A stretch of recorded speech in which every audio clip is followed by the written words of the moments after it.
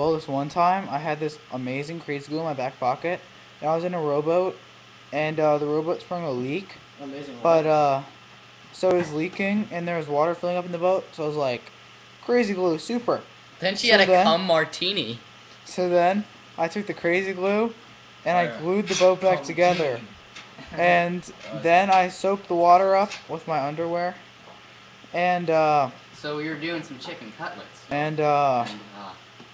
Oh yeah, oh oh yeah, oh yeah, and then uh, Speaking of and then- things, Then I watched Batman, uh, cause I had a TV on my rowboat. And uh, oh yeah, and Krazy. Glue saved the day.